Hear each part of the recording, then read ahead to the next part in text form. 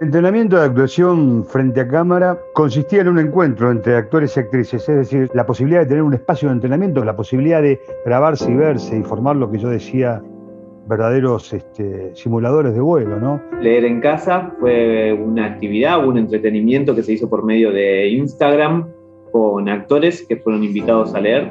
Significó un poco como poder volver a, contactar por un rato con algo del, del hacer, de alguna manera. Fundación Sagay me dio la oportunidad de hacer cursos ante cámara que me hicieron aprender un montón que es tan importante para nosotros estar todo el tiempo preparándose y que te den herramientas. Eso es maravilloso, así que siempre estoy eternamente agradecido.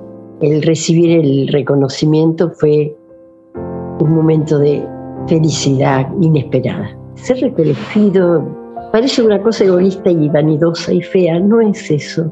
Es que uno eh, de alguna manera siente que existe recibir el premio Patacón para mí fue una sorpresa, primero que nada, no lo esperaba.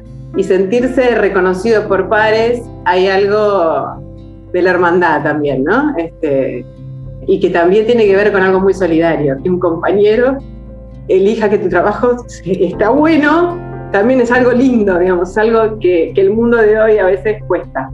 Volver a mirar tiene que ver con un servicio maravilloso que es identificar a todos nuestros compañeros y compañeras, sea cual fuere eh, la proporción del trabajo que han hecho en esa película, puedan cobrar sus derechos de intérprete. Realmente me, pone orgulloso haber formado parte de, Palabras Mayores. Te transforma eso porque tomas conciencia de, gente que, que, no tiene a nadie, no, no tiene realmente a nadie. Nos sentimos bienvenidos, nos sentimos acompañados, y a mí eso me da mucha alegría para la comunidad de bailarines y creo que Sagay es muy respetuoso de todas nuestras necesidades. El comité de verificación de doblaje se conformó para poder verificar las voces en materiales doblados hace 15 años, 10 años. Se intenta considerar a todos, se intenta hacer las cosas distintos. Entonces sí, me parece muy loable de parte de Sagay intentar eso. Subsidio Más Teatro que nos otorgó Sagay nos permitió básicamente producir la obra. Es pocas veces que uno puede, haciendo teatro independiente, llegar al día del estreno con casi cero deuda.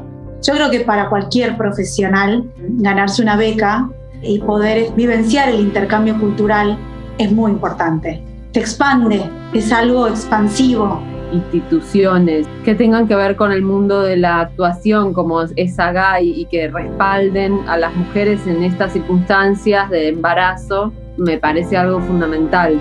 A mí en algunos momentos las liquidaciones de SAGAI me ayudaron, sin ningún tipo de duda. Cuando uno recibe la liquidación y pudiste pagar necesidades básicas, estamos hablando.